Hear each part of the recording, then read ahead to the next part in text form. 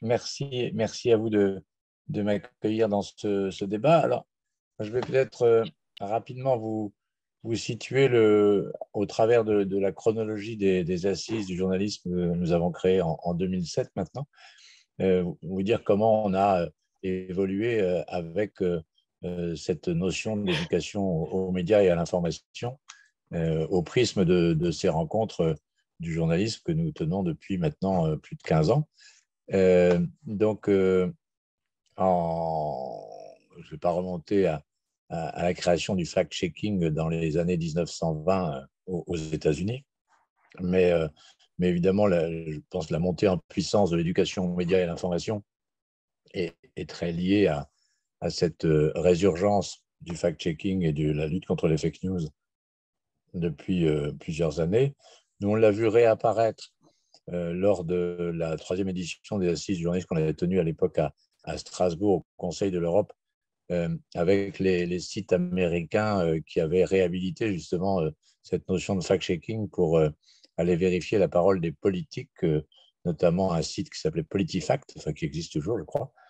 et on, l'avait invité aux assises pour nous présenter un peu cela. Et ça avait suscité dans la communauté des journalistes français un débat assez important en disant, mais après tout, Qu'est-ce que c'est que ce fact-checking? C'est ce qu'on doit tous faire, de vérifier les faits, c'est la base du journalisme.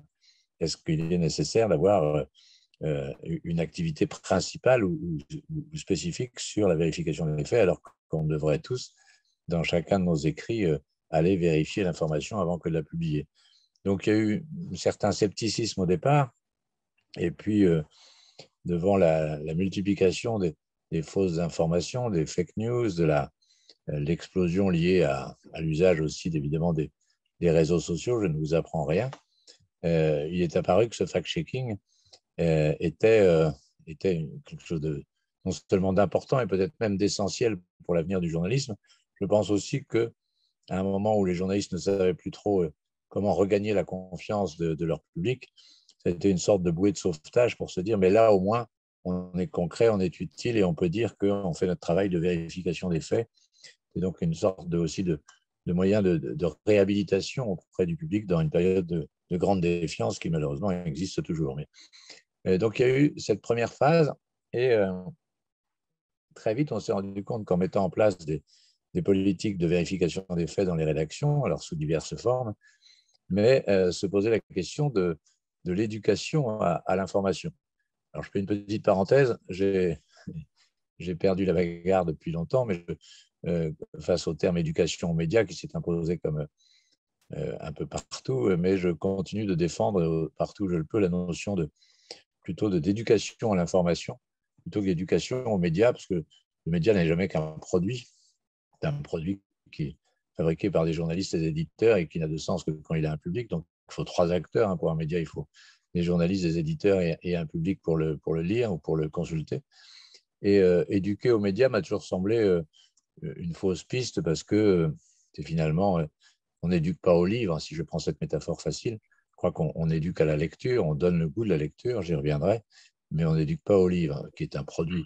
Euh, donc, je, continue de plaider pour l'éducation à l'information. Pardon pour cette parenthèse, mais c'est un des sujets qui, je trouve, mérite d'être remis régulièrement au centre du, débat, de savoir à quoi on, forme. Est-ce qu'on forme à, acheter un journal ou est-ce qu'on forme à, bien s'informer, ce n'est pas du tout la même chose. Euh, donc, on, a vu monter évidemment la, cette nécessité d'éduquer à l'information.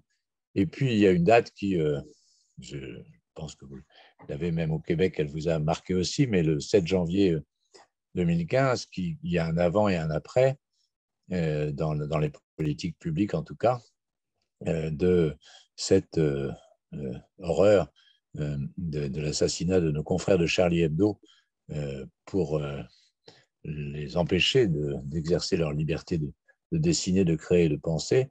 Et donc le traumatisme de, cette journée du 7 janvier a, fait prendre conscience qu'il y avait un fossé terrifiant qui avait pu se greffer et, qu'il était urgent qu'il y ait des politiques publiques qui se soucient de cela et, et, que les journalistes se soucient également de ça.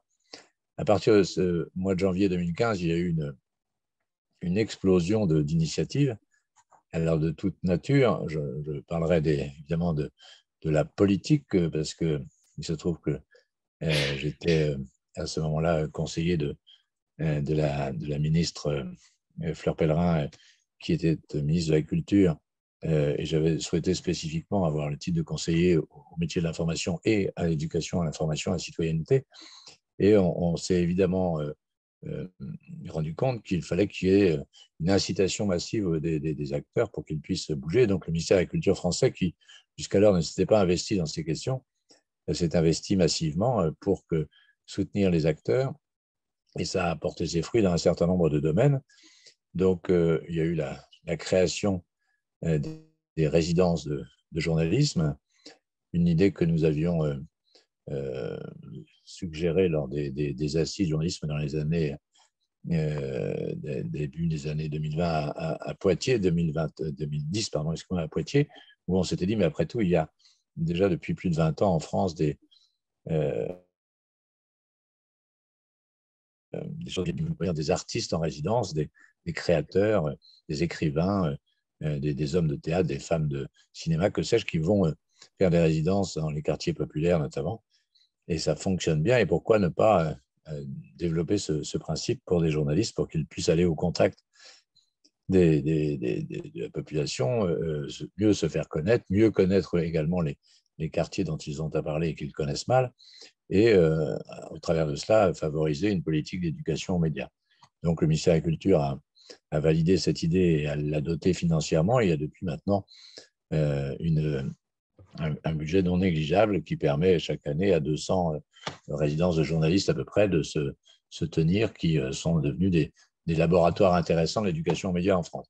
Après, il y a eu tous les soutiens aux associations, et là, il y a une floraison d'initiatives, je ne vais pas toutes les citer, mais presque tous les grands médias, à l'initiative soit de, de, direction, soit des journalistes eux-mêmes, se sont mis à, se lancer dans l'éducation aux médias et à l'information, euh, qu'on pense à l'AFP, qu'on pense au monde, qu'on pense au service public, qu'on pense à bien d'autres. Et euh, en mêlant un peu ces deux sujets de, vérification des faits, le fact-checking, alors je ne vais pas citer les, les, grands sites français pour ne pas faire de publicité, mais si on reste sur le public, des intox, les décodeurs, le vrai ou faux, ou euh, l'AFP factuel. Et puis en parallèle, donc, c'est associations qui se sont mises en mouvement pour aller euh, porter un peu la bonne parole et, aller sur le terrain avec euh, une grande nouveauté par rapport à ce qu'il y avait jusqu'alors, c'est que jusqu'alors, il y avait le, dossier de l'éducation à l'information était quasiment euh, exclusivement lié à l'éducation nationale. Donc, c'était le, sujet des professeurs et, que des journalistes allaient épauler de temps en temps sur des sujets. Et là, l'idée était que les, les journalistes eux-mêmes, les éditeurs eux-mêmes se soucient du sujet.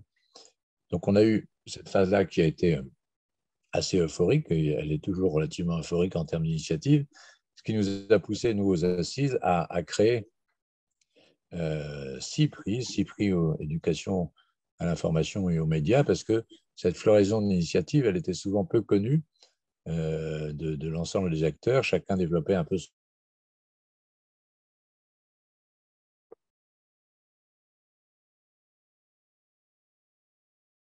travail collaboratif. Et donc, on a créé les prix des assises il y a plusieurs, presque une dizaine d'années maintenant, qui permettent euh, chaque année de valoriser euh, donc les, les, initiatives les plus intéressantes et chacun vient les défendre dans des assises à tour lors d'une sorte de, de, speed dating pour partager justement ces, ces, ces, ces, initiatives. Et ça, je crois que ça a permis aussi de, de, créer des mises en réseau, des mises en lien, que des, choses, des gens qui faisaient à peu près la même chose pouvaient se lier.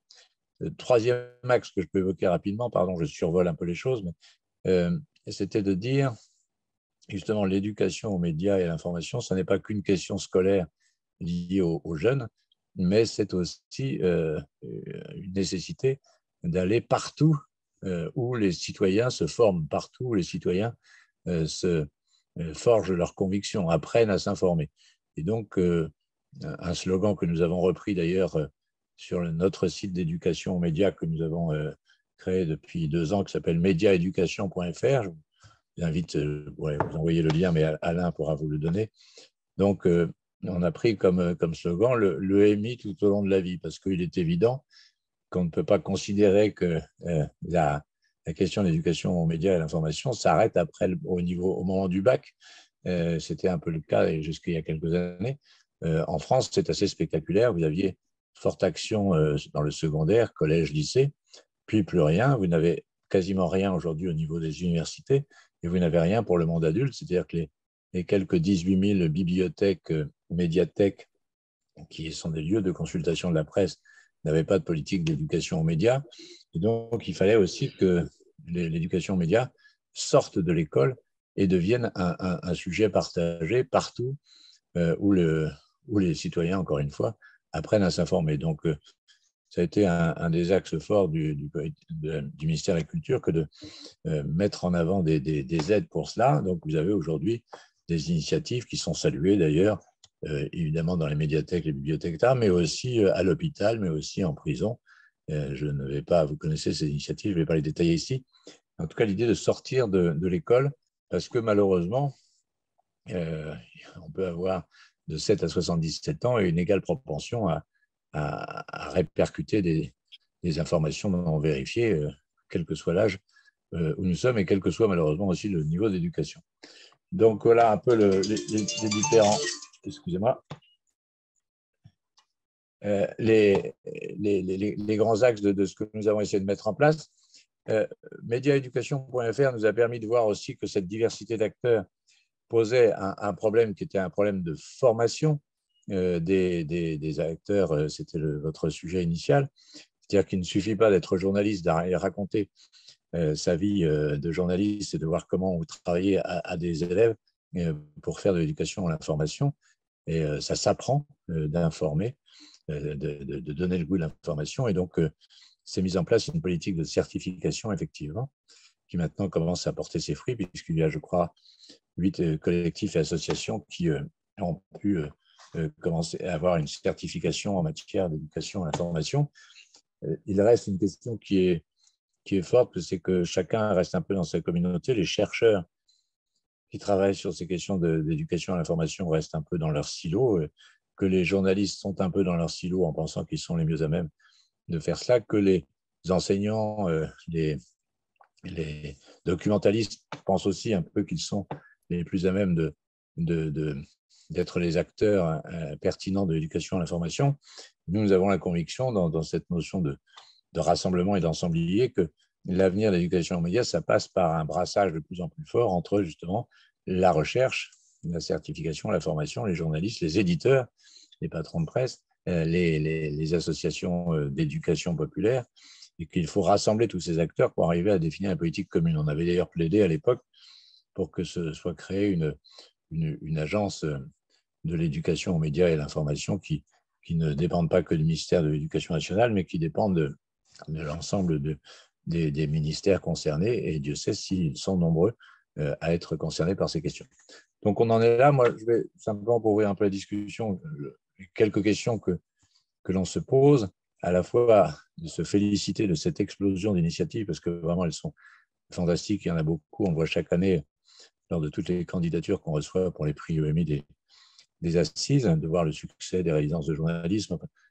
Tout ça est très encourageant, mais en même temps, les questions qu'on ne peut pas exclure, c'est euh, quelles sont les, limites auxquelles on se heurte, c'est-à-dire que quand on discute avec des gens qui, euh, qui ne sont pas sortis du système informationnel, si j'ose dire, eh bien, ce dialogue peut s'engager, mais quand, euh, et on l'a vu autour de, des élections américaines, mais, mais bien d'autres sujets, autour de la pandémie, autour de, la vaccination, euh, quand tout d'un coup, via les réseaux sociaux, chacun s'enferme dans ses convictions et ne croit plus à, une vérité partagée,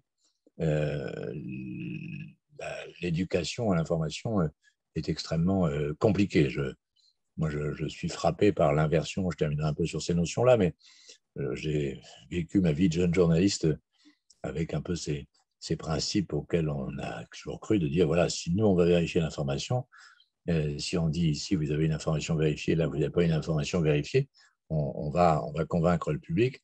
Alors, on voit bien que cette notion de, que, qui était je ne crois que, ce que je vois, hein, qui a été un peu fondatrice depuis les textes euh, bibliques de la communauté française. si je vois, je crois, mais si je ne vois, pas, je ne crois pas. C'est progressivement transformé de plus en plus mais je ne vois que ce que je crois. C'est-à-dire que la croyance a pris un tel pas sur le reste que c'est à partir de la, volonté de conforter sa croyance que l'on va chercher ces informations. Et là, l'éducation aux médias et à l'information devient évidemment très fragile. Et la dernière notion sur laquelle je veux insister, c'est, je pense que éduquer à l'information, ça s'apprend, comme on l'a dit, mais, mais ce qui est le plus important, c'est de redonner le goût, c'est de retrouver le goût de, s'informer. Je ne crois pas qu'on s'informe naturellement. Euh, évidemment, il y a des familles où on, baigne là-dedans, où les, les, enfants étaient habitués à ce que les parents lisent, s'informent et où il y a une sorte de transmission. Mais quand cet écosystème n'existe pas, eh bien, la musique, ça n'est l'apprentissage de la musique, l'apprentissage du théâtre, l'apprentissage de la culture, ça n'est pas spontané. Il faut qu'il y ait un accompagnement, une éducation, et surtout qu'on éveille le goût euh, euh, du citoyen à, s'informer. Et là, il faut que je crois qu'on travaille vraiment cette notion-là, qu'est-ce qui permet de retrouver le goût de l'information, de redonner le goût de l'information, de bien s'informer, comme on, a euh, dans les années passées, face aux crises sanitaires, redonner, tenter de redonner le goût des produits sains, d'un air sain qui fasse du bien euh, au corps et, à l'esprit. Je pense qu'il faut retrouver cette, cette démarche-là de, redonner aux citoyens, à travers l'éducation aux médias, avant tout le, goût de bien s'informer. Et ça, c'est un sacré enjeu. Merci beaucoup, Jérôme Bouvier, qui nous parlait de, de France sur la formation des journalistes, l'éducation aux médias, à l'information. Je rappelle que vous êtes le fondateur des Assises du journalisme de Tours. Merci d'avoir été là.